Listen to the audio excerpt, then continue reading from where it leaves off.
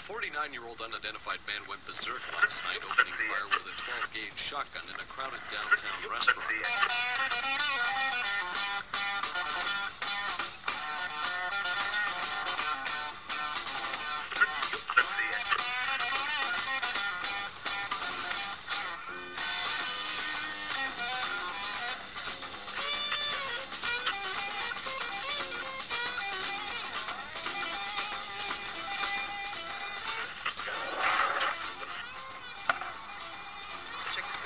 Guy out.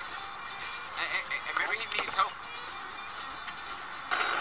Fred's your man right here. He's got the snacks. I mean, Frank, don't you just got hot pockets in your pocket? Hey, it's still got the cardboard on. It's not like I just, you know, stuffed it in there. You gotta be the dirtiest motherfucker alive. Hey, Fred, zoom up to that building, man.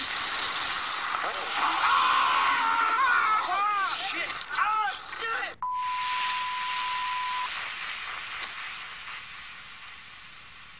There's nothing to worry about. Stop fucking making things up, okay? Dude, we're going to the no, hospital. we can't go to the hospital. Evidently, the whole city's fucked up, man. Let's just walk the other way. Oh, fuck!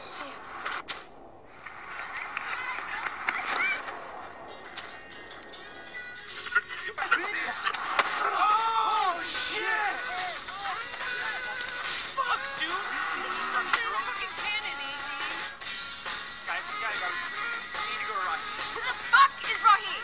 My weed dealer.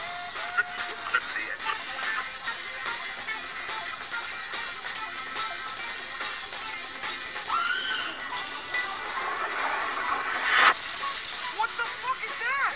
Oh, shit, man! It's that fucking Nostradamus and the world shit I was talking about.